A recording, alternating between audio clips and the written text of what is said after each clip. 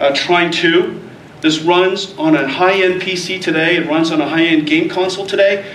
And um, look, well, Andrew, you're the master of this game. Tell us about it. Uh, hello again. Uh, so this is by a company called Frozenbyte.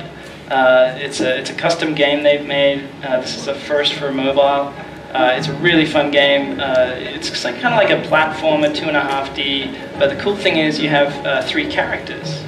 Uh, so you can have your warrior guy. You can switch to have a wizard, and he can like. Uh, Now remember, this is a mobile device that's been blown up to this to the size of a theater. Okay? Absolutely. This is a mobile device that's been blown up to the size of a theater. Look at the exquisite detail.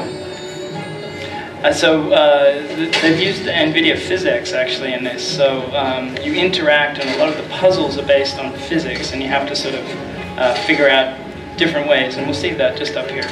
So if I run inside now, past the uh, the beautiful sort of uh, Egyptian statues. So here we have a, a puzzle. This one's uh, fairly straightforward, and I have played it a couple times. So you can choose which character you want. So I can try and uh, reflect this beam. And you note the way the lighting uh, follows the beam around. This. Oh, yeah. Oh, that's hot. yeah.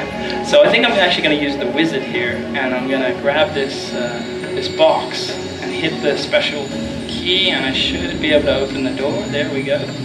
Now, while you do, while he's doing that, look at how the lighting is changing the environment. Everything's all lit so beautifully. Yeah, it's all dynamic lighting. It's a beautiful game. The artwork in this is, is just exquisite.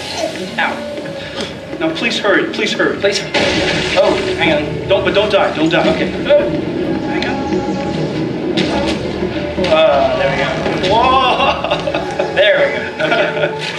Okay. Now, all of this, all of this behavior is happening with physics simulation. So you could, you could just see how heavy that rock was. You could feel it. So now we're down in a crypt. Who's this here? Goblins seem to Uh-oh. have taken a fancy to it. Some kind of goblin goblin. Here Could be. comes a bad guy. And there we go. Okay, fantastic. Good job.